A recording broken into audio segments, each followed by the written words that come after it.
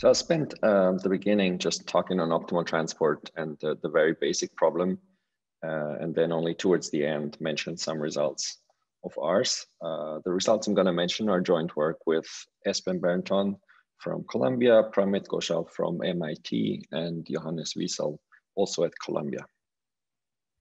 Since uh, this is a conference about some historical treaties, I felt compelled to start with another historical treatise. This one is exactly 240 years old. Uh, it's uh, due to Monge. It's often seen as the beginning of linear programming and optimal transport. And uh, if you can read here the fine print, uh, it's about moving Earth from uh, one location to the other. So I'll spare you the original formulation and move to a modern mathematical formulation. So the basic setup is this.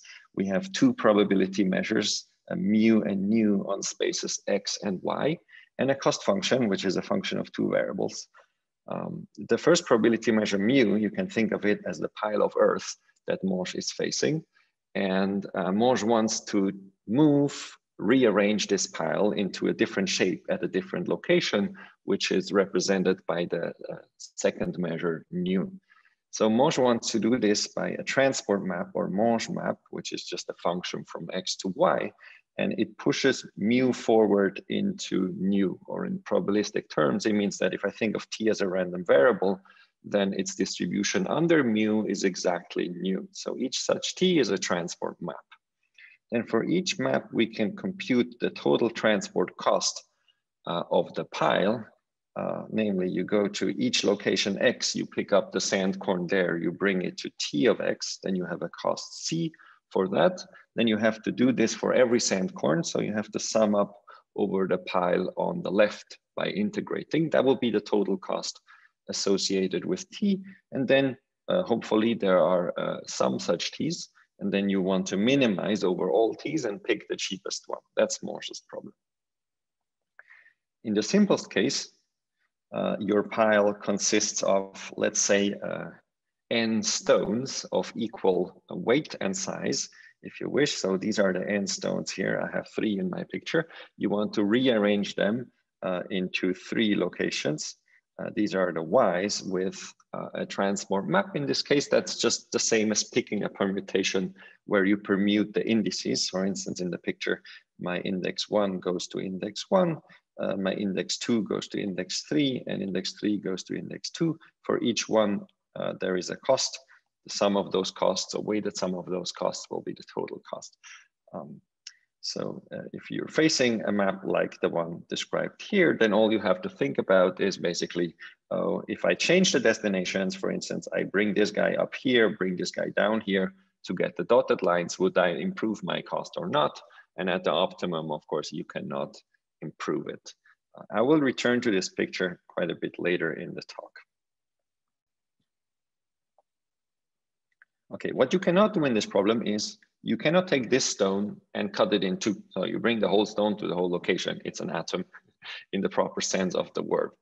Um, 100 years ago, uh, when linear programming was really developed by Kantorovich, um, he formulated a relaxation, which corresponds to the idea that I can actually cut that stone in half, take half this stone, bring half here, half here, and then compensate by also bringing half here and half here. So that brings us to the modern Monge-Kantorovich transport problem.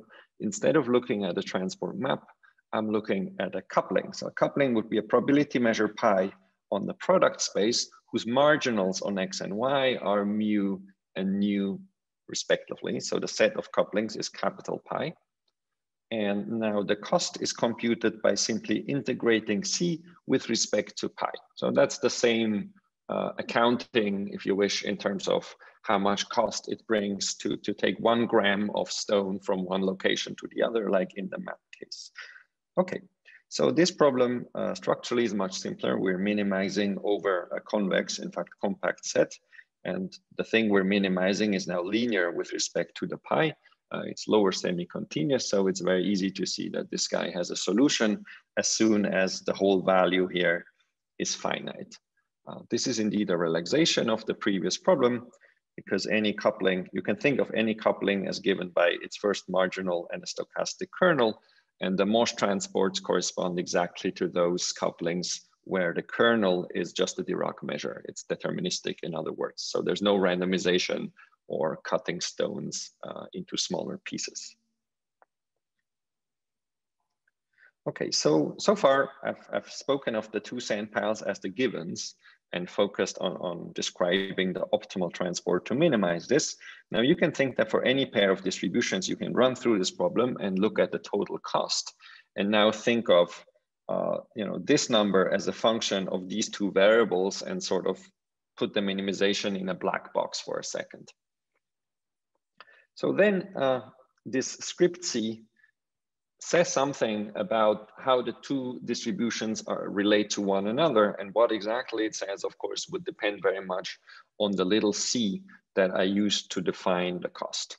So in particular for suitable c's, that will actually define a reasonable uh, discrepancy measure between uh, mu and nu. In particular, if you do it the right way, uh, you will obtain a metric on a space of distributions on some space x. Let's say you take x equal to y, uh, usually called the Wasserstein distance in math or the earth mover's distance um, in computer science.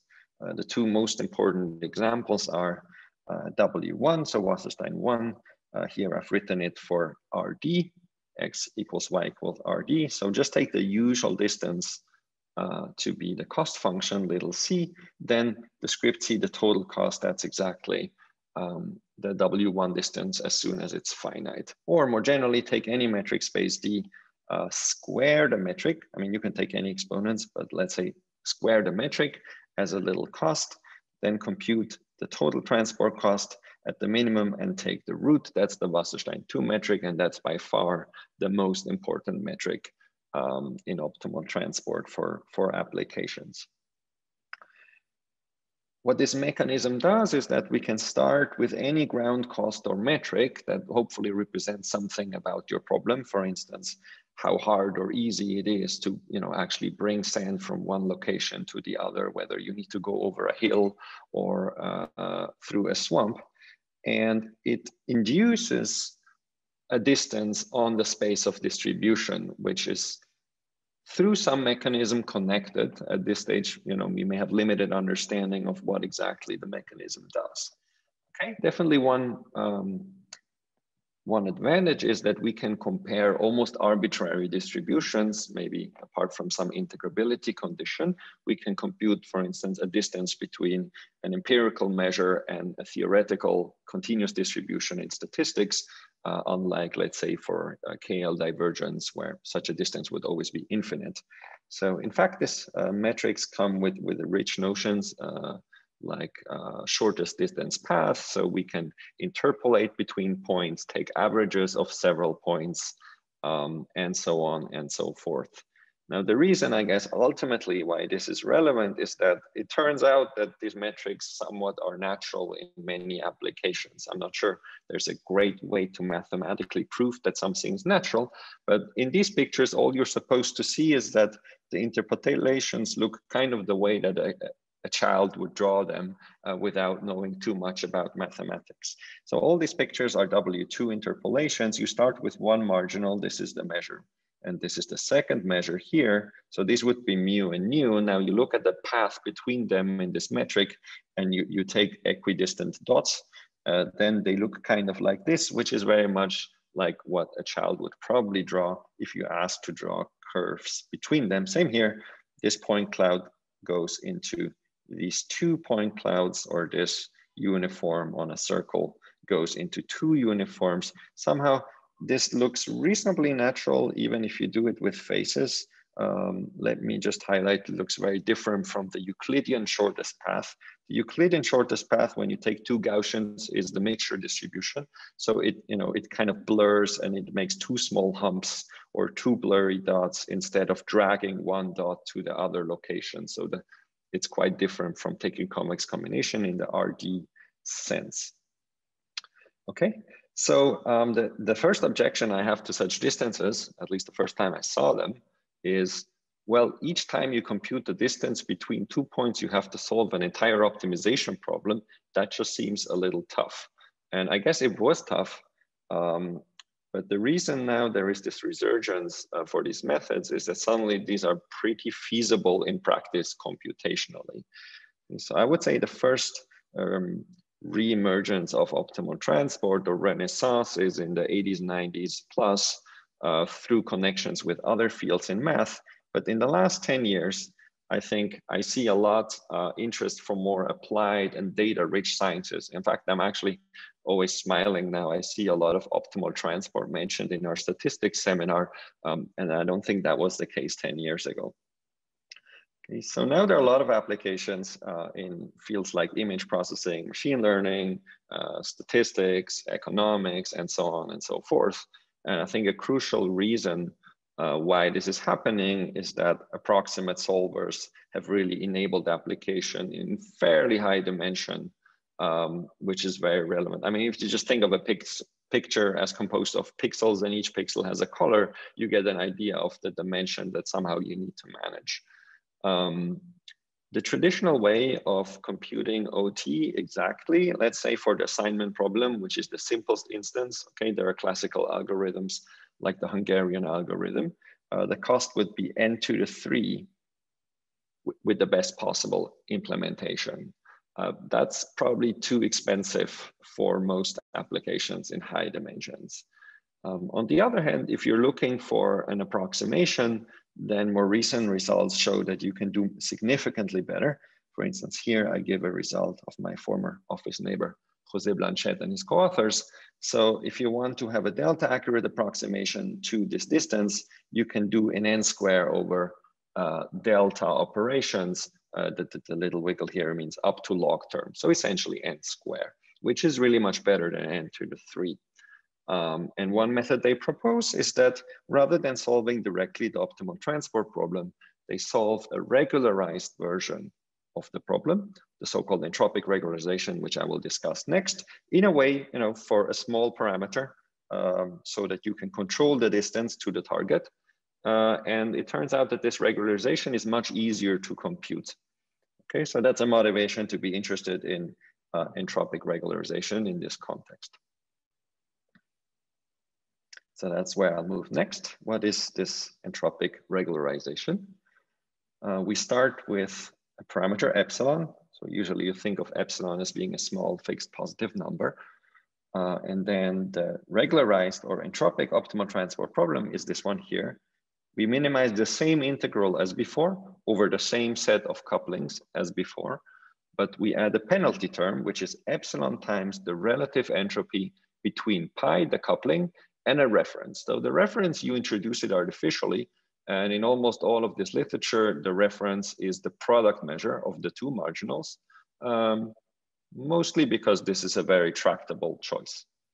Okay, so H here is the usual relative entropy or KL divergence. You take the log uh, density and you integrate it. And, and that's the penalty. So clearly there's going to be a trade-off between two terms when you solve this problem. Uh, you will either take care more of this or more of this. If epsilon is chosen to be large, it means you're putting a lot of relevance on this term, not so much on this. So you expect the solution to look more like the solution of just minimizing this. On the other hand, if epsilon is small, you may expect that the solution looks more like a solution of the optimal transport problem. Okay, so in that sense, you expect that the solution of this whole minimization interpolates between a solution of optimal transport that I called pi star before and a solution of just this.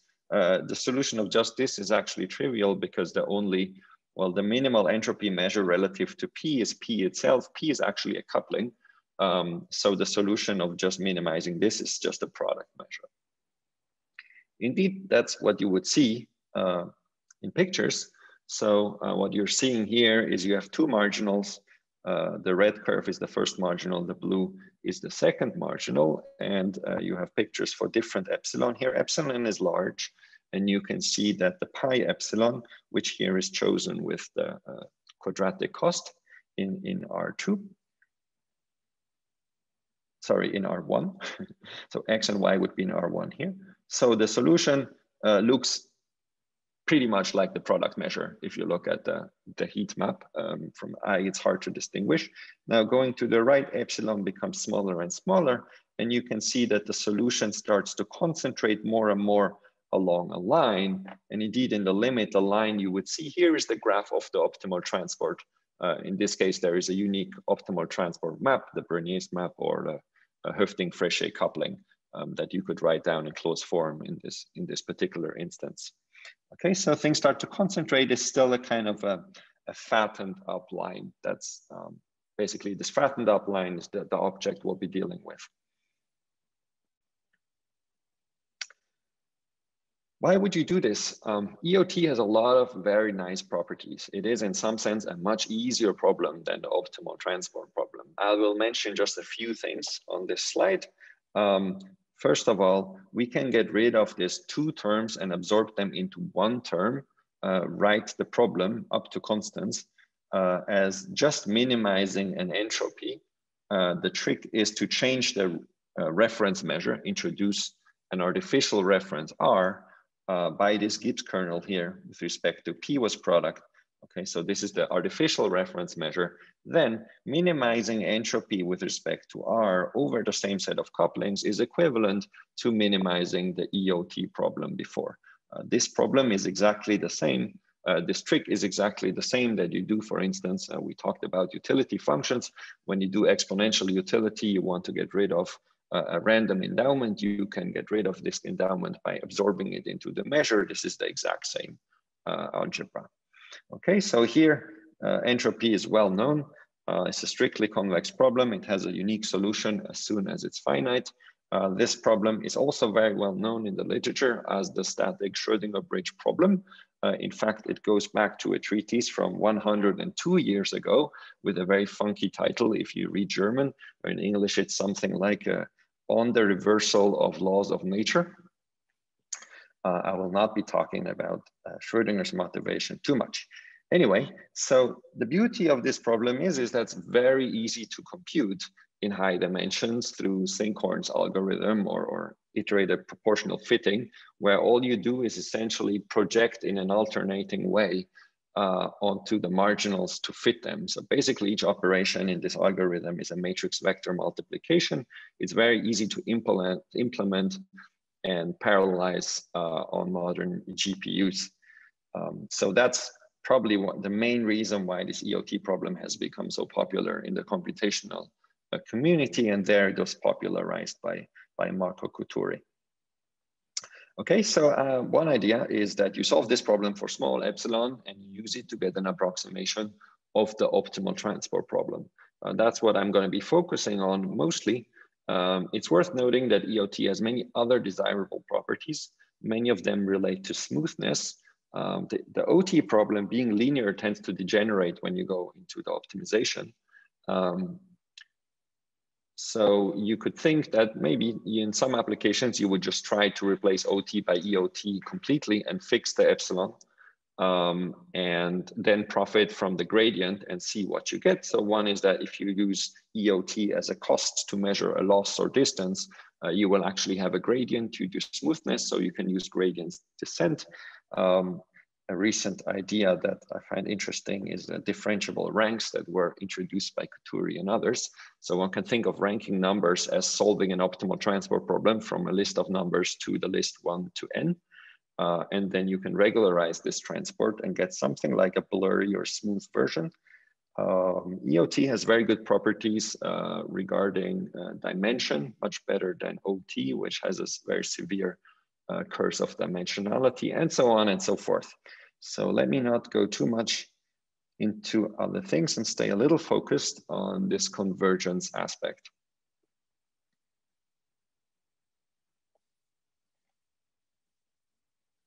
Hey Igor, uh, what's my what's my finish time by the way? Well, tentatively ten twenty-five, maybe. I mean, yeah, 920, 925 in York time. So That's a while ago, uh, in the other direction. Anyway, ah, it's other direction. Sorry, sorry, eleven twenty-five. no, no, no worries. yeah, yeah. So you have uh, um, like maybe twenty minutes. Okay, I'll, I'll, quote you on the tentative part of that statement. All right, so I want to be talking mostly about uh, continuous and semi-discrete optimal transport. Um, so I, I, want at least one marginal to be connected. Main reason is that the fully discrete problem is, is uh, understood in the literature. Uh, that would be the most important problem where, where both sides are, are disconnected. Uh, for simplicity of exposition in this talk only, I'll assume that the optimal transport problem has a unique solution. It's called pi star. So existence is fine. The question is uniqueness. Uh, and its dual problem, which I did not specify too much, also has a unique solution. Uh, it's two functions, one function of x, one function of y. One can always be expressed with the other. So this would be called the Kantorovich potential of the optimal transport problem. If you have never seen this, it doesn't matter too much. It's just a function associated with the problem. Okay, so we'll see later uh, that pi epsilon converges to pi star weakly, usual uh, weak convergence of probability measures. And we want to say something about how fast this convergence is happening. In the case, in the fully discrete case, where the, both marginals have finitely many points, um, optimal transport is just a linear program, uh, finite dimensional linear program. For such programs, the um, regularization has been studied in some detail. And it's well known that you have exponential convergence. So a very neat result here is due to John Niles Weed. Uh, take the solution of EOT, take the solution of OT, compare them in, in fact, any norm you wish, because it's finite dimensional anyway, let's say total variation norm, then you will have uh, this exponential decay in the distance. Uh, there are two constants and they are uh, known and understood. So they are um, really described in terms of the, the, the data. And uh, this is even a non-asymptotic bound. So it holds for all epsilon below a, a known threshold. In the continuous case, uh, the picture will be a little different. Uh, let's illustrate this in the simplest and hopefully nicest case possible. Uh, let's take two centered Gaussians on the real line and the quadratic cost, which is the nicest cost and it kind of goes well together with Gaussians. So then you can compute in closed form the solution of EOT. It's a, a joint Gaussian, of course.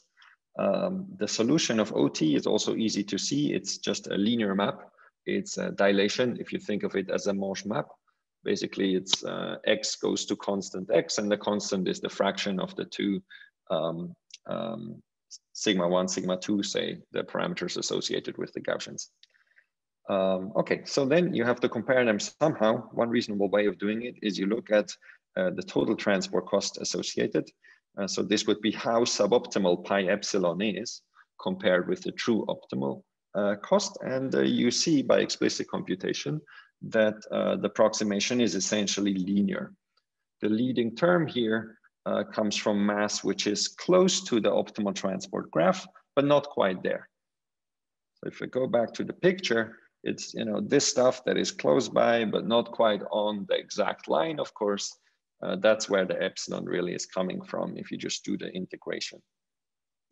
So linear instead of exponential, uh, that's of course a pretty big slowdown. Um, so this kind of um, expansion has been studied for other marginals. Um, sorry for not going into this here. We're going to take the more local point of view and focus on a point x, y away from the uh, from the graph. If you do it in this example, you, you know exactly what this density is. So you can just compute it in force, uh, closed form. And what you see by inspection is that it's of this form, e to the minus uh, a fraction of the fraction of the two sigmas, in fact, so just a number. And then here you have y, the point that you plug in, and the point where the x would go under the optimal transport. So this is the distance, uh, how far away you are from the optimal transport graph squared. That's what gives you the rate. And at least as long as you're away from the graph, you actually have exponential decay with a known rate. Uh, on the graph, of course, the density has to explode to infinity. So what we want to state is a comparable result, somewhat comparable result for a very general problem and not Gaussian marginals and not necessarily quadratic um, cost. So let's state one such result. Uh, here it takes the form of a large deviations principle just because it has an upper and a lower bound.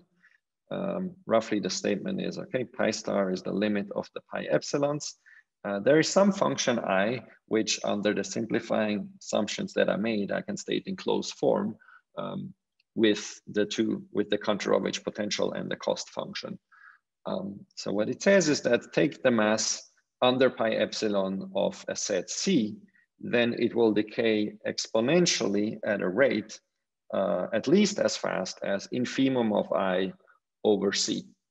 And you have the matching uh, lower bound for open sets, namely the decay is exponentially at least, at least as fast as, sorry, at most as fast as uh, infimum of I over the set. So if uh, regularity is good, then let's say you take a, a ball, open ball, closed ball, uh, these two bounds would actually match.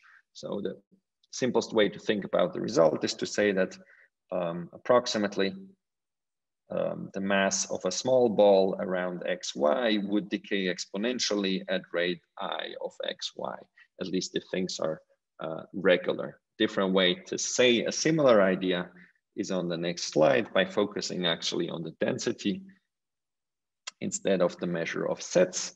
Um, so here uh, I have to introduce two more functions. The way, maybe the elegant way to introduce them without uh, putting in new math is, this is again the same density of the solution of the EOT problem. Okay, it can be shown to have a specific form always, which is you have the one over epsilon, then you have a function of x, a function of y, and the cxy. So these two functions are known as the Schrodinger potentials, or here the rescaled Schrodinger potentials. And the statement is that uh, f epsilon converges to the Kantorovich potential, and similarly the g converges to its counterpart, which is already encoded uh, in f as well. So for the density, it would say that the square bracket here tends to the same thing with the stars written, that's exactly minus i from the previous slide, so that um, I would indeed give you the decay rate of the density at the point xy. Um, let me mention the two results are basically equivalent if you're in a high regularity setting.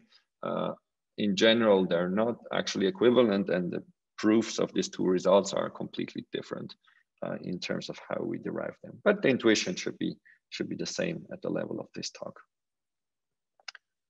Okay, let me, um, I want to highlight one idea. Um, that's the ambition I have for this talk, uh, at least in a very superficial way.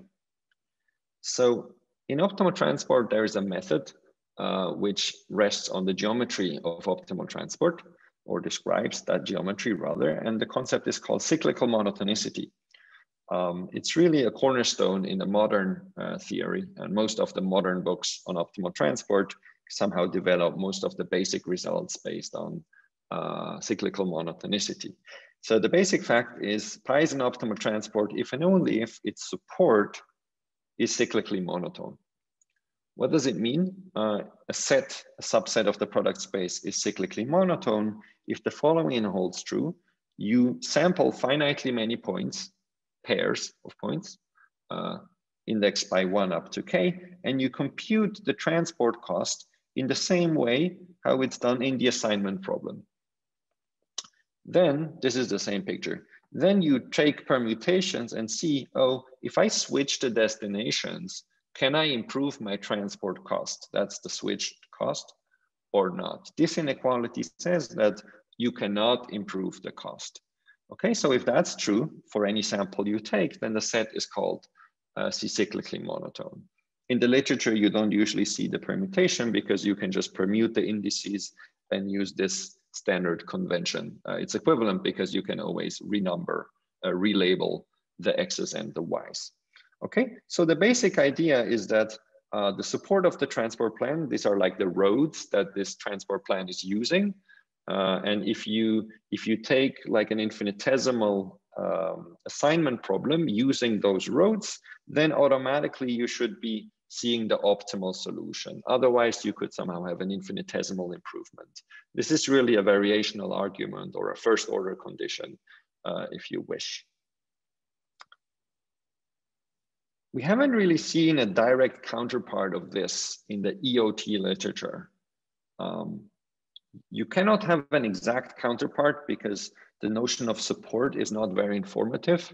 In EOT, uh, all relevant couplings have the same support as the product measure. So just looking at the support is not going to be helpful, but you could just run the same idea of having a first order condition where you perturb infinitesimally and you don't expect to improve. Okay, so if you write it down just you know stubbornly, this is where you go. Uh, you will be describing the form of the density rather than the shape of the support.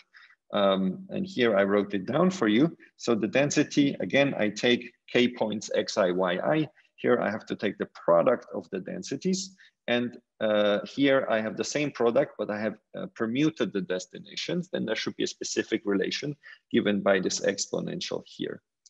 Uh, sorry if it's slightly ugly expression. It fits just on the slide. That's my criterion. Uh, if you want to be more beautiful, what you could do is you could introduce the same artificial reference with that Gibbs kernel, the e to the minus c over epsilon that we saw before. And if you do that, then you get rid of this term because it gets absorbed into the R and things look more beautiful. Okay, and then you will spot more easily that this is directly just saying that the density has a factorization. On the other hand, for the current purposes, I do like the ugly form more um, the reason being simply that everything is explicit. So P here is fixed, the epsilon is here and only here. And remarkably, this term here is exactly the one that occurs in the de definition of C-cyclical monotonicity in optimal transport. So um, this seems very suitable to link the two problems.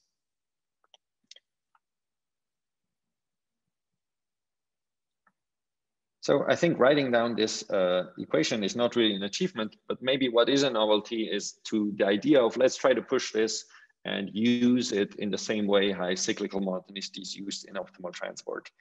Um, we have the same basic uh, relation. Cyclical invariance is equivalent to optimality. Okay, at least as long as optimality makes sense, meaning the EOT problem is finite. Uh, so that's the analog for optimal transport. In analog, um, we can extend this uh, in a slightly less obvious way uh, and think about cyclical invariance just as a definition without looking at the optimization problem. Uh, it turns out that there is always at most one cyclically invariant coupling, and we can prove existence in, in uh, pretty general context. So what's happening here is similar to something that's also known in optimal transport, namely this geometry is actually meaningful beyond the optimization. It's not just a first order condition. So you can use this geometry to single out a unique coupling, even if the optimization problem doesn't make sense because just every coupling has infinite cost. So then there's nothing to optimize. Okay, so for instance, uh, if you want to define Brenier's map for marginals that are not square integrable, you can actually do this, uh, even though the optimization itself doesn't directly make sense. So same is true here. So I want to give you just a flavor of the method uh, since I wasn't given uh, that much more time. Um, so here, this lemma is actually a straightforward one. I'm gonna look at the set of points A, which are k tuples of pairs. Namely, they're the tuples so that if I look at the cost and permute the destinations, I can indeed improve the cost by at least a constant delta. The claim is that the k-fold product measure of this set under pi epsilon will decay exponentially with rate at least delta. So the C somehow disconnects uh, to decay rates. The reason why this is true is actually pretty immediate. You just need to look at this definition. So what I'm saying when I, the set is exactly the set where this here is greater equal to delta. So if I integrate both sides over the set, then on the left-hand side, I will get the left-hand side of my inequality, exactly what I want. Here, well, on the set, this is at least delta. So this, uh, I'll get an upper bound x minus delta over epsilon. And then here, this is some probability measure. So when you, when you integrate, you get something less or equal to one. Uh, that was the complete proof of the lemma. Um, so, okay, there is a converse bound, which is a little bit trickier that I will not detail. But let me just show you how to apply it immediately and prove at least this one result. Uh, this will give us in particular that pi epsilon converges to pi star when pi star is unique. The more general result is don't assume anything about optimal transport. don't assume you know anything, just look at the pi epsilons, which you know are cyclically invariant. Um, these are all couplings. Couplings are a compact set, so you always know that there will be cluster points for weak convergence. Take any such cluster point, call it pi. The claim is that pi, or rather its support, is C-cyclically monotone. Um, this would, okay, the, like what you always do in optimal transport to check something like this is, okay, I take k points from that set. I assume that the transport cost is improvable. Okay, then you blow up, uh, make the points small balls. Uh, then the question is, can this uh, still be improvable or not? And then you realize that actually those balls are subsets um, of this set A. So our lemma tells us that the mass goes to zero even exponentially. And there you contradict the fact that you, you started with a support. So support means you actually have mass at those points. So that was um, a rigorous proof of this statement, which I, am hoping the simplicity of the argument uh, indicates that the concept might be useful. Okay, it's definitely much simpler than previous arguments uh, giving the same result under more particular conditions. Okay, so, uh, okay, I'm two minutes over time. So let me sneak in one result just quickly. Um, it follows, I would say, by similar arguments. It's a different limit, but it, it exploits the same method. So here the epsilon would be fixed. It's really a result about EOT. We're moving the marginals. So assume you have weakly convergent marginals. Uh, take the associated solutions. Here they are. And we're trying to say that the associated solutions would converge to one another. Um, and even more generally, you want to formulate this maybe in a purely geometric way using the cyclical invariance. And this just says that you have the expected result. Okay, limits of cyclically invariant couplings would be cyclically invariant. So it gives you that the optimizers, the solutions are stable with respect to the marginals of the EOT problem. Okay, so here I need to end. Thank you very much. Thank you very much, Marcel. Um, we have some time for maybe a couple of quick questions. One quick question, and and as usually, you can post them in the in the chat or in Q and A. And in meantime, I have, I, Marcel, I have maybe not a question, maybe it's like a general question. Can you briefly somehow, but briefly, uh, say how this problem is related to a particular problem in, I don't know, mathematical finance or economics, uh, given the audience, we have quite a large audience, diverse audience, without going to very specific applications. Um, well, in math finance, we know very well this problem, uh, just slightly in disguise. So let's say I'm doing, I'm writing it in the form of couplings and I just minimize it with respect to the R measure, which had the C already absorbed into it. That will save me a little bit of notation. That is dual. So the dual of this is what we would call the primal. So that would be soup. And then I take under R exponential utility of portfolio. Now, what is portfolio? Here, portfolio would be uh, a function of X plus, well, it has a minus from the utility, plus a function of Y. And uh, okay, here, let's say things that I can buy at zero price. So I can think of these as option written on the asset X, option written on the asset Y in a market where I get a price, namely the price of F would be the integral with respect to a given marginal and the same thing for the other guy. So it's a market where I can trade freely functions of X and functions of Y. They're priced according to the two given marginals I have a given amount of initial capital. Okay, this is kind of translation invariant. So let's say capital zero. And then I want to maximize my exponential utility. The solution, FG, of that problem, those are exactly the Schrodinger potentials in our language. And by duality, what usually is the dual over martingale measures, uh, here it's this problem. And instead of martingale measures, it's measures that have the given marginals that basically fit the option prices.